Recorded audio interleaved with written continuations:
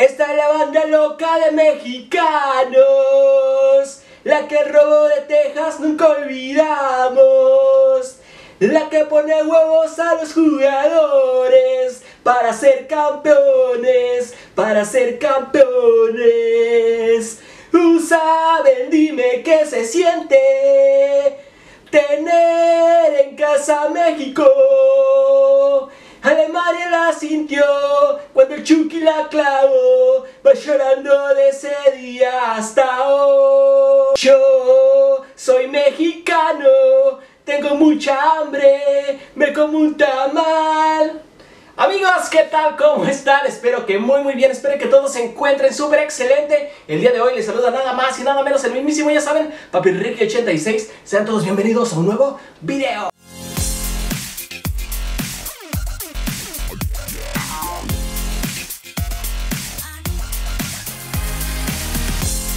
El día de hoy estamos bastante contentos porque la selección mexicana después de mucho tiempo pues nos da un nos da un este un buen partido, un buen momento, ¿no? Y bueno, no es para menos, de eso vamos a estar platicando el día de hoy, ¿verdad? Del debut de eh, Jaime Lozano como técnico, director técnico de la selección mexicana y bueno, qué debut, qué debut, la verdad, el debut soñado para todo técnico, ¿verdad? Después de ese duro tropiezo entre semana, o sea, la semana pasada, de ese 3-0 contra la selección de Estados Unidos.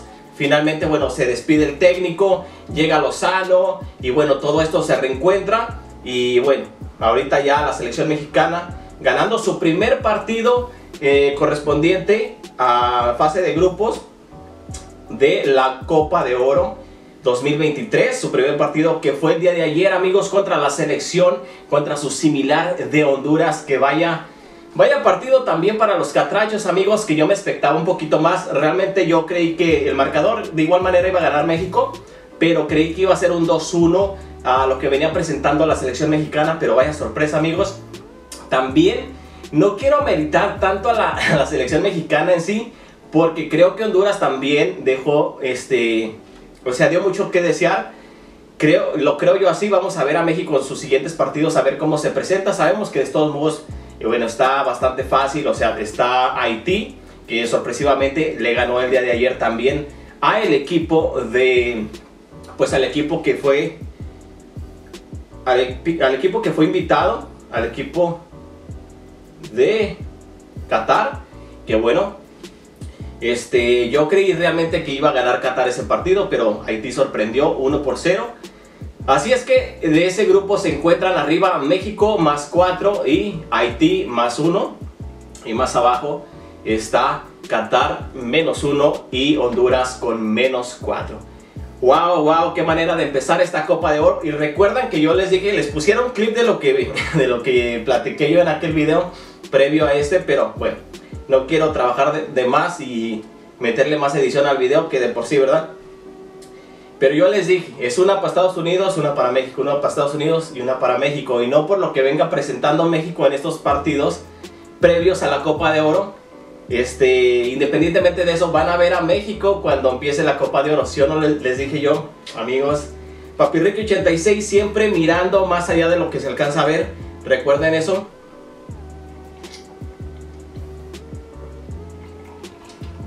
Jaime Lozano. Wow qué debut, o sea, ya, o sea, todos los mexicanos ya añorábamos eso, que no más extranjeros, no más técnicos extranjeros. Porque yo, o sea, yo en, en mi tema personal, en un tema muy personal, yo creo que el técnico tiene que ser del país al que dirige, honestamente, porque por muy bueno que sea el técnico, no le va a poner el corazón que le va a poner alguien que realmente sienta amor por los colores, ¿verdad? En este caso, Lozano es completamente mexicano y bueno, este, creo que le encaja muchísimo. Aparte, bueno, tiene una trayectoria que ya sabemos que también nos dio un logro allá en las Olimpiadas. ¿Se acuerdan las Olimpiadas de, de Londres? Creo que fueron fue en el 2012. Que bueno, eh, gana la, copa, la medalla de oro. Y fue uno de, es uno de los triunfos más grandes de la selección mexicana en cuanto al fútbol. Creo que después de la, de la Confederaciones, este, esa medalla de oro también fue un, gran triunfo y bueno, este, Lozano fue quien estaba dirigiendo a esa selección en ese momento. Y bueno, eh, Tata Martino, eh, yo cuando inició el Mundial, yo sabía que el Mundial se iba a presentar así. Y no es que México estuvo del todo mal, sino que también le tocó bastante complicado. O sea, estuvo Argentina, estuvo Polonia y creo que ese partido contra Polonia, si lo hubiéramos sacado adelante, pues otra historia hubiera eh, sido, ¿no? Pero bueno, el hubiera ya no existe, ahora a ver hacia adelante. Lo bueno que ya no tenemos a, a Tata Martino, tampoco a este ex técnico, a, Coca, que la verdad yo no sé por qué los pusieron y en qué momento llegaron, o sea, terribles, terribles, terribles técnicos que aparte de terribles no siente nada por la playera, por la camiseta, ¿verdad? Como les había dicho anteriormente, hay tantos eh, técnicos mexicanos, este, Ojitos Mesa, no sé si todavía esté vigente Ojitos Mesa, este, no quisiera decir el Tuca Ferretti porque de hecho él se ha negado innumerablemente, porque él dice que él cree que el técnico tiene que ser de, pues, de ese país, ¿no? Y él se ha sido muy honesto y dice, bueno, pues yo la verdad amo a México con todo mi corazón, pero no es lo mismo, o sea, no es lo mismo este, que lo dirija un mexicano, ¿verdad? Y la verdad es que tiene mucha razón en eso, amigos. Creo que estamos en muy buenas manos con Jaime Lozano. Yo le tengo mucha, mucha fe a este técnico. Este, ya, pues, ya comprobado, ¿verdad? Que es muy buen técnico con esta medalla de oro en Londres. Y bueno, este, con este debut que, bueno, a todos nos ha sorprendido. Aparte, bueno, como les había dicho, Honduras también no creo que le jugó del todo bien, tuvieron un mal partido, habría que ver a México en estos siguientes, en estos siguientes partidos para ver cómo pinta. Eh, de todos modos, México está obligado a ganar esta copa, sí o sí, por la historia, por los años, por la liga, por todo lo que le genera alrededor en cuanto a su fútbol. México está obligado por lo menos a estar a la final y enseguida pues a ganarla, ¿verdad? A ganar esa copa. Entonces creo que en esta ocasión va a ser para México, se los había dicho, es una para Estados Unidos, una para México. Creo que dobletearon dos veces, o sea, de las últimas veces que yo me, me recuerdo, en cuanto al 2000, no sé los años exactos, pero Estados Unidos dobleteó, después México dobleteó, y después de ahí se vinieron una y una, una y una, una y una, una y una. Y bueno, esta es para México. Así es amigos, bastante sorpresivo lo de la selección, mi selección mexicana. Iniciamos con unos cánticos bastante guay, bastante cool, bastante bacanos, bastante chidos. Porque creo yo que, bueno, hay cánticos mexicanos, hay cánticos que, bueno, la hinchada de México los canta. El cielito lindo creo que es el más representativo, ¿verdad? Que se canta en todos lugares y el que el mundo nos conoce, por el que el mundo nos conoce. Y bueno, hay otros, en el mundial salió uno chido no tenemos a Ronaldo, mucho menos a Neymar, pero queremos esa copa y nadie nos la va a quitar. Ya que enfrentemos a Argentina y Carlos Vela ya no está, aún así no la van a... Están muy chidos, ¿eh? Están muy chidos, pero ustedes saben que a mí me encantan pues los de los los cánticos de allá de de Argentina, ¿no? Entonces yo le doy acá a mí. Esta es la banda loca de mexicanos. La que el robo de Texas nunca olvidamos. La que pone huevos a los jugadores para ser campeones, para ser campeones. Usaben, dime qué se siente tener en casa México. Alemania la sintió cuando el Chucky la clavó, va llorando de ese día hasta hoy. Y así sucesivamente amigos, la verdad es de que para cánticos, Papirrique 86, para todo lo demás está...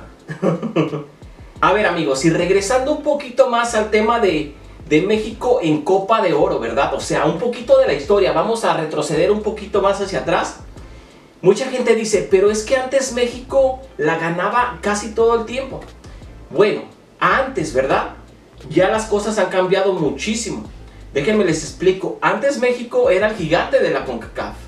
Era el gigante completamente. ¿Por qué razón? Porque su liga ya tenía 70 años de existencia. A diferencia de los demás, este, las demás selecciones las cuales participan en el área, que muchas de ellas Cabe resaltar que de hecho ni liga tienen, ¿verdad? Como lo es San Cristóbal y Nedi, este, Trinidad y Tobago, eh, Curacao, San Vicente, eh, todas estas selecciones del Caribe, muchas de ellas, amigos, no tenían liga profesional. De hecho, muchos seleccionados eran taxistas, eran este, microbuseros, eran albañiles, eran doctores, eran gente que tenía otras profesiones. Y, pero aún así, como era, era una isla la cual estaba categorizada como para que competiera en, esta, en esta zona de la CONCACAF, pues hacían sus pequeñas selecciones, ¿verdad? Hacían sus selecciones a como podían. Y venían a competir con México, con México que ya tenía una liga con 70 años, en aquel tiempo con 70, 80 años de existencia, ¿verdad? Obviamente tenía que ser el gigante de la CONCACAF. Después fue creciendo. Ahora la MLS, el único que le da mucha batalla a México es Estados Unidos. Estados Unidos en 1994 tuvieron el Mundial eh, como sede. O sea, fue sede del Mundial. Y no tenían una liga profesional. No fue hasta ese Mundial que pues la gente como que se empezó a interesar un poquito. Y fue como hasta el 96, dos años después, que bueno, inician esta liga, ¿no? La liga de la MLS. Y después de, esa, después de ese año como que fue, fue siendo un poquito más competitivo, poquito a poquito Estados Unidos. Cuando cruzamos el 2000, que la liga ya tenía como unos 7, 8 años de existencia, este, pues la verdad es que ya eran competencia. De hecho, no sé si recuerdan que nos eliminaron del Mundial de Corea y Japón 2002 con ese 2-0 que bueno, se hizo tan famoso que hasta el momento nos lo recuerdan todo el tiempo. Y fue que, bueno, conforme va creciendo la liga de la MLS, Estados Unidos se vuelve mucho más competitivo. ¿Esto afecta o beneficia a México? Obviamente que le beneficia, ¿verdad? Porque muchos dicen, es que si México competiera en Sudamérica, no pasara todo el tiempo, o sea, no calificara todo el tiempo como lo hace al Mundial. Claro que sí, claro que sí calificara. Es como todo, todo se acostumbra y todo se acondiciona a conforme sus condiciones, ¿verdad? Si México competiera en Sudamérica, obviamente México se iba a preparar y acondicionar para competir a ese nivel, ¿verdad? Estaba, pues, estaba bastante descansando, estaba descansando muy bien por lo que le englobaba, ¿verdad? Y no tenía culpa de nada, es la zona en la que nos tocó este, disputar el pase al mundial y es la que vamos a jugar, ¿verdad? pero no es que México, si, si México jugara en Europa las eliminatorias, de igual manera pasara, porque México es un, es, un, pues es un país grande, ¿verdad? Es un país grande en tamaño y bueno, hay muchos fútbol, es un país también que tiene un gusto enorme por el fútbol, muchos chavitos que son unos cracks, cracks, o sea, Messi, pero la verdad, como les digo, este, aún no se han descubierto por los temas políticos y todo eso, ¿verdad? Pero bueno, a lo que yo voy, México, pues era gigante de la CONCACAF, ya no lo es tanto. Creo que está obligado a hacerlo por el resto de la eternidad, por lo que les comento anteriormente.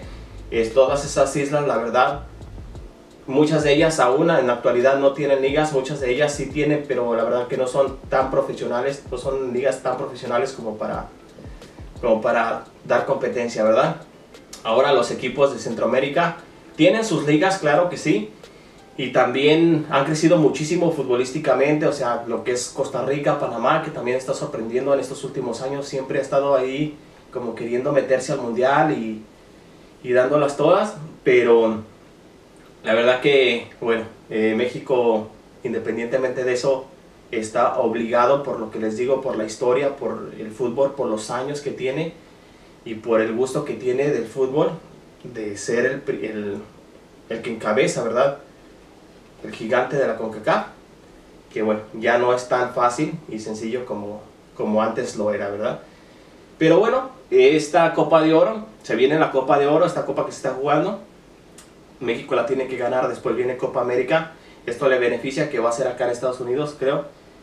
Este, no sé si va a ser acá en Estados Unidos, creo que sí. Entonces, pues se va, también va a tener que meterse ahí a competir. Y luego viene el Mundial, que va a ser sede junto con Estados Unidos y Canadá y también tenemos que ser ahí, si no, no le vamos a pedir el quinto partido, ahí les vamos a pedir que pasen hasta que la ganen. Es que no les puedes pedir que pasen a semifinales porque se quedan atrás, no puedes, hay que pedirles que ganen y si la ganan chido y si ganan pasan a semifinales, pues chido también, ¿verdad? Pero siempre hay que exigirles lo más alto, ¿verdad? La verdad que México ya es hora de que de que muestre de qué está hecho. Y vamos por la Copa del Mundo 2026, amigos. Y bueno amigos, ha sido todo por hoy. Muchísimas gracias por habernos acompañado una vez más a un nuevo video de Papi Ricky 86. Recuerden que si les gustó el video denle like, suscríbanse al canal y compartan. Amigos, nuevamente les saludo Papi Ricky 86.